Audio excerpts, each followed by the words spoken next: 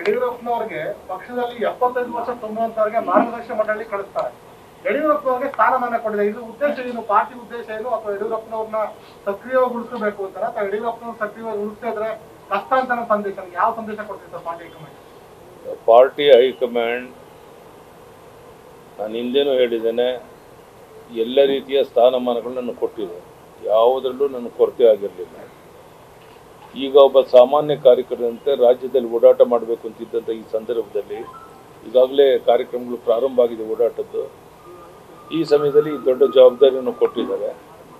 ಅದನ್ನು ಜೊತೆಗೆ ನಿರ್ವಹಿಸುವಂಥ ಪ್ರಾಮಾಣಿಕ ಪ್ರಯತ್ನ ಮಾಡ್ತಾನೆ ಅನ್ನೋ ವಿಶ್ವಾಸ ನನ್ನ ಮೇಲೆ ಪ್ರಧಾನಿಯವರಿಗೆ ನಡ್ಡಾಜಿಗೆ, ಅಮಿತ್ ಶಾಜಿಗೆ, ರಾಜನಾಥ್ ಸಿಂಗ್ ಎಲ್ಲ ಇರೋದರಿಂದ ಹೆಚ್ಚಿನ ಜವಾಬ್ದಾರಿಯನ್ನು ಕೊಟ್ಟಿದ್ದಾರೆ.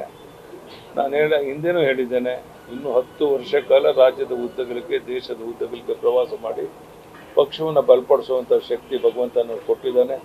ನನ್ನ ಕೈಕಾಲು ಗಟ್ಟಿ ಇರೋವರೆಗೂ ಪಾರ್ಟಿಯನ್ನು ಬೆಳೆಸೋದಕ್ಕೆ ನನ್ನ ಶಕ್ತಿ ಮೀರಿ ನಮ್ಮೆಲ್ಲ ಮುಖಂಡರ ಜೊತೆ ಸೇರಿಕೊಂಡು ಪ್ರಾಮಾಣಿಕ ಪ್ರಯತ್ನ ಮಾಡ್ತೇವೆ. ಕರ್ನಾಟಕದಲ್ಲೂ ಸಹ ಬಸವರಾಜ ಬೊಮ್ಮಾಯಿ ಅವರು ಮುಖ್ಯಮಂತ್ರಿಗಳಾಗಿ, ಸಚಿವ ಸಂಪುಟದ ಸದಸ್ಯರು ಎಲ್ಲರೂ ಸೇರಿ ಇಷ್ಟು ಒಳ್ಳೆಯ ಕೆಲಸವನ್ನು ಮಾಡ್ತಿರ್ಬೇಕಾದ್ರೆ, ಅಭಿವೃದ್ಧಿ ಕಾರ್ಯದ ಕಡೆ ಇಷ್ಟು ಹೆಚ್ಚು ಒತ್ತು ಕೊಡ್ತಿರ್ಬೇಕಾದ್ರೆ ಕರ್ನಾಟಕದಲ್ಲಿ ಬಹಳ ಮುಖ್ಯವಾಗಿ ನೀರಾವರಿ ಯೋಜನೆಗೆ ಇಷ್ಟೊಂದು ಆದ್ಯತೆಯನ್ನು ಕಾರಜೋಳ ಅವರು ನಮ್ಮ ಅಧ್ಯಕ್ಷರು, ಮುಖ್ಯಮಂತ್ರಿಗಳು ಉಳಿದೆಲ್ಲ ಮುಖಂಡರು ಕೊಡ್ತಿರ್ಬೇಕಾದ್ರೆ ಕರ್ನಾಟಕದಲ್ಲಿ ನಮಗೇನೂ ಕೊರತೆ ಇಲ್ಲ. ನನಗನ್ಸುತ್ತೆ ನಿಶ್ಚಿತವಾಗಿ ಈ ಹೊಸ ಜವಾಬ್ದಾರಿ ಕೊಟ್ಟ ಮೇಲೆ ನಾನು ರಾಜ್ಯದಲ್ಲಿ ಪ್ರವಾಸ ಮಾಡೋದ್ರಿಂದ ಎಲ್ಲ ಮುಖಂಡರ ಜೊತೆಗೆ ನಮ್ಮ ಕಾರ್ಯಕರ್ತರಲ್ಲಿ ನೂರಕ್ಕೆ ನೂರು ಹೆಚ್ಚು ವಿಶ್ವಾಸ ಬರುತ್ತೆ. ನನಗೆ ವಿಶ್ವಾಸ ಇದೆ. ಇಲ್ಲಿ ಮತ್ತೆ ಸೌತ್ ಇಂಡಿಯಾದಲ್ಲೂ ಸಹ ಪಾರ್ಟಿಯನ್ನು ಕಟ್ಟುವಂತ ಪ್ರಾಮಾಣಿಕ ಪ್ರಯತ್ನ ಮಾಡ್ತೇನೆ ನ್ಯೂಸ್ ಫಸ್ಟ್